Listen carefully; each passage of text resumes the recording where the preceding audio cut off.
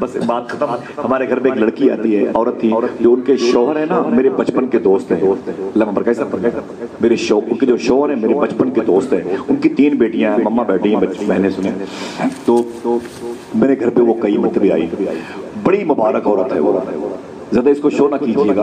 अपने लोगों के सामने कराऊं बताइएगा अपनी बहन बेटियों से, वो किसी पेड़ पर नहीं नाजिल हुई। समझे? समझे वो किसी फैक्ट्री से नहीं बनी, वो भी किसी माँ की कोख से पैदा हुई है। वो कहती हैं कि, भाईजान, मुझे याद नहीं, मैंने कितनी सौ मरतबे ख्वाब में हजूर को देखा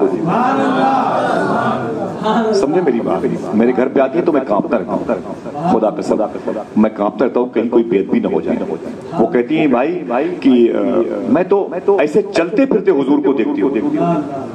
और हुजूर हुजूर का फजल देखिए आप। हुजूर के पूरे घराने को उन्होंने एक नहीं, सैकड़ों मरतबे ख्वाब में देखा हो जिनका नाम आपने उनके बारे में बता देंगी, उनका होलिया मुबारक बता देंगी। इमाम हसन के बारे में हुसैन के बारे में, मखदुमा जैनब, रुखैया कुलशूम के बारे में, इब्राहिम के बारे में, हज़रत अब्दुल्ला के बारे में, इमाम ताहिर के बारे में, इमाम बाकर के बारे में, जिसके बारे में पूछे वो सब बता देंगे। बता देंगे समझ रहे इतनी मुकदस खातून है। और वो कहती है, एक बात राज की है। कहती है कि भाईजान भाईजान अपने शोहर से कहा था, मुझसे बोले, आसिफ भाई, क्या करूँ? मैंने कहा, आपा जैसे कहती है वैसे कर दो। बोले कि, आसिफ भाई कभी कभी मैंने हुजूर को तो अपने घर में बावर्ची खाने तक में महसूस किया। सरकार की खुशबू महसूस की, सरकार की का मुबारक वजूद नाजरी महसूस किया। इस कदर मोहब्बत से हजूर को याद करती ना, जब हजूर का नाम लेती है सरकार का तो खुदा कसम लगता है, मुँह के अंदर मिस्री की डली लग गई है। बड़ी प्यार से, वो चलते फिरते हुए ऐसे बच्चों को डांट सरकार आए किसी से बात नहीं करती वो किसी से मिलती नहीं है। वो किसी से बात भी नहीं करती कि कोई मेरी इज़्ज़त ऐसा भी नहीं उनके कुछ नहीं चलता उनका कोई दो रुपए कोई चीज़ उनके पास लेके जाए वाला कुछ नहीं अपने घर में रहो घर में रहो। मेरे पास पता ना मेरे पास टाइम नहीं है। नहीं है टाइम होता तो हजूर पर दरूद पर दरूद पर ग्लूकोज की बाटलें लगा लगा करके हजूर पर दरूद पड़ती है। हाँ पाँच पाँच सौ रुपए किलो का गोश्त खा के हम हजूर को याद नहीं करते। वो कहती है, ग्लूकोज की बाटलें लगा लगा के हम हजूर पर दरूद पढ़ते हैं। अभी मुझसे कहने लगे कि भाई भाई भाई, वो उनके शोहर घर पे आए ना तो बोले कि अपने शोहर से कहा कि, मेरे एक हाथ पे अपना हाथ दो। ऐसे। बोले, अब दोनों मिलके दुआ करते हैं। कई दिन हो गए हुजूर को ख्वाब में नहीं देखा। तो दोनों मियाँ बीवी ने दुआ की। ठीक है? वो फरमाती है कि भाई दुआ करके हम उनका मिजाज है कि वो खाना पीना खिलाएँगी, बेटियाँ हैं, शोहर को सुला के फिर मुसल्ले पे चली जाए कई कई घंटे तक, एक, डेढ़, दो, तीन घंटे तक मुसल्ले पर रहेंगे। कभी कभी घंटों घंटों तक खाली, खड़ी है, कयाम में तो शरीफ पढ़ रही है। सारा काम कर लेगी, फिर वो एक घंटे के लिए सो के फिर उठेंगी ताजुद की नमाज़ पढ़ेंगी। तो कहती हैं, सबसे आखिर में जब मैं सोने जाती हूँ ना, चौबीस घंटे में दो तीन घंटे के लिए तो फिर तस्वीर उठाती हूँ। तस्वीर उठाती हूँ। सौ मरतबे फिर आखिर में हुजूर पर दरूद पड़ती हूँ। सबसे आखिर में सबसे आखिर में एंड में काम करती हैं। कहती हैं कि सौ मरतबे हुजूर पर दरूद पड़ती हूँ फिर मैं सो जाती हूँ।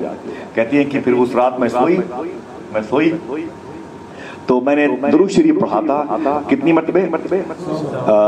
वो मुझे पढ़ना था तो वो कहते हैं कि मैंने दुरू शरीफ पढ़ा था सिक्सटी सेवन मरतबे। कितनी मरतबे? अभी कितना बाकी है सौ में? सौ में थर्टी थ्री। तैतीस। वो कहते हैं मियाँ वो कहते हैं कि बस बस। मैं दुरू शरीफ पढ़ रही थी ये हमजा शाह इन्हीं की बारे में तबरुक था इसलिए मैंने ले लिया तो वो कहती हैं कि मैं जो है वो तस्वीर पढ़ रही थी और अभी तैतीस दाने बाकी थे। ऐसे, मिसाल के तौर पर, ऐसे मेरी उंगलियाँ फंसी हुई थी। अभी की बात है। ऐसे मेरी उंगलियाँ फंसी हुई थी और मैं पढ़ते पढ़ते सो गई सो गई मुसल्ले जब सो गई तो मेरी उंगलियाँ तैतीस दाने बचे हुए थे, वहीं पर फंसी हुई थी। अचानक मैंने क्या देखा कि हुजूर सल्लल्लाहु अलैहि वसल्लम एक मैदान में खड़े हैं। हुजूर है मैदान में खड़े वो कहते बड़ी तेज़ी से भागी भागी भागी। मैदान की तरफ़। बड़ी तेज़ी से भागी। कि या रसूलुल्लाह, आप कहाँ थे? या रसूलुल्लाह, आप ऐसे बोलती हैं, या रसूलुल्लाह। या रसूलुल्लाह आप कहाँ थे? कहा जैसे मैं करीब गई तो हुजूर ने फरमाया, नाम लेके मैं नाम नहीं ले रहा हूँ आपके सामने, अदबन। अदबन फरमाया, हुजूर ने कि, सुनो, मैंने कहा, जी सरकार। तो हुजूर ने फरमाया कि, मुझसे मिलने आ गई।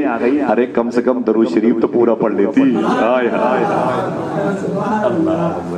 इस तैतीस मरतबे ना पढ़ने की भी खबर हुजूर को है। क्या समझते हैं? ऐसा हबीब मिला है जो हर वक्त हमें देखता है।